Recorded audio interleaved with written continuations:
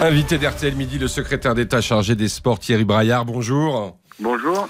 Merci d'être avec nous. Donc, au lendemain de ces incidents, de ces violences qui ont précédé le quart de finale de Ligue des Champions OL, Besiktas Istanbul, dans, dans le coup d'envoi a été reporté de trois quarts d'heure. On a vu les images spectaculaires avec jet de pétard venu des tribunes hautes, hein, occupées par des supporters turcs. Réaction immédiate et sans doute assez violente des supporters lyonnais, des bagarres en tribune, envahissement de la pelouse, cela sans parler des affrontements en dehors du stade.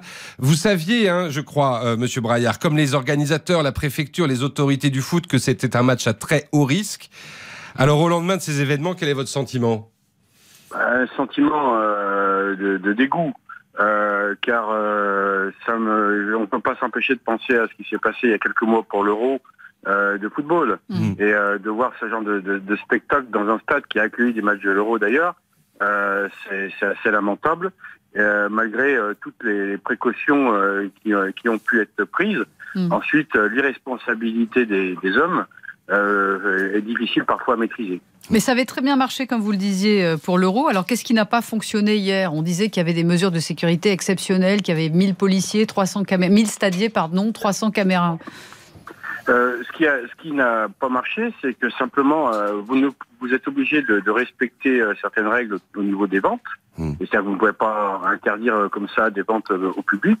Et il se trouve que tout un virage a été acheté euh, par des, des, des supporters euh, turcs. Mhm. Et euh, ceux-ci, euh, euh, dix minutes avant le début du match, ont décidé de, de lancer euh, des, péda- des pétards donc du troisième niveau euh, sur le niveau d'en dessous.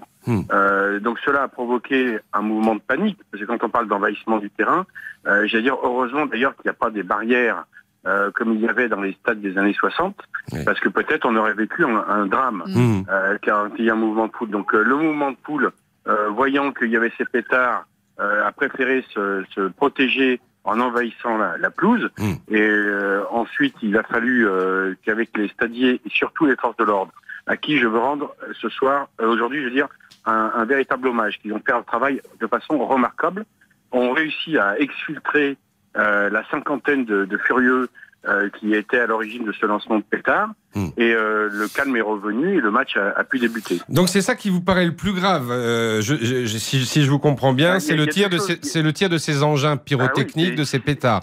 C'est ces tirs-là qui ont Mm. provoqué le mouvement de panique et, euh, et l'envahissement on ne comprend pas comment ils peuvent arriver jusqu'en tribune ces engins. Bah, c'est pourtant le- la question des, des fouilles.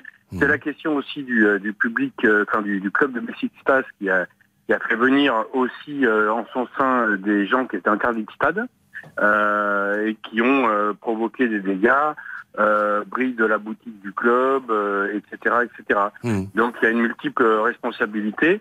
Euh, J'allais dire moi notre rôle avec le préfet sur place, le préfet de police et le préfet de région, c'était de, de, de maîtriser les choses au niveau des forces de police qui avaient été mises sur mises en affectation de façon plus importante que d'habitude. Ouais. Et je dois dire que là, elles ont rempli très bien leur rôle et ce qui a d'ailleurs permis après euh, le déroulement du match dans de bonnes conditions. Vous avez eu Jean-Michel Aulas au téléphone depuis hier soir? Oui, oui, j'ai eu l'occasion de, de la voir. Qu'est-ce qu'il vous a dit? Bah, qu'il était, euh, lui, euh, meurtri par cela et parce qu'il voulait que, que les choses se calment, il a même passé la première mi-temps euh, Oui, En tribune. au, au milieu de- des- des supporters, supporters. qui étaient victimes et non pas coupables, puisqu'ils reçu- ils ont reçu sur leur tête des, des jets de... Pour vous, les de- Lyonnais ont été victimes, hein, et les coupables sont les Turcs. Ah, Ou alors, je, vous n'avez pas vu les mêmes images que moi. Bah, écoutez, notre correspondant à Lyon tout à l'heure disait que semble-t-il, et il a assisté au match, les supporters de Lyon avaient tout de même surréagi par rapport à ce qui s'était passé au départ. Bah, moi, je sais pas, quand vous recevez euh, des jets de... Je suis pas là pour défendre les supporters lyonnais, Mhm. Mais quand vous recevez des, des jets de euh, des projectiles, euh, et des, des petites, euh, bah, je sais pas, euh, il y a, ça peut créer. Oui, il y a eu des gens qui ont été Mm. brûlés, des Mm. supporters lyonnais qui ont été brûlés, ce qui a généré un mouvement de foule. Euh, J'ai pas vu euh, des explosifs jetés du bas aller vers le haut. J'ai plutôt vu, co- contrairement à votre correspondant, des jets d'explosifs venant du haut, Venant descendant en bas. Euh, ce qui veut dire qu'on n'a pas vu le même match, qu'on n'a même pas, on n'a pas vu les mêmes incidents. Merci en tout cas euh, d'avoir été euh, avec nous Thierry Braillard, secrétaire d'État chargé des sports.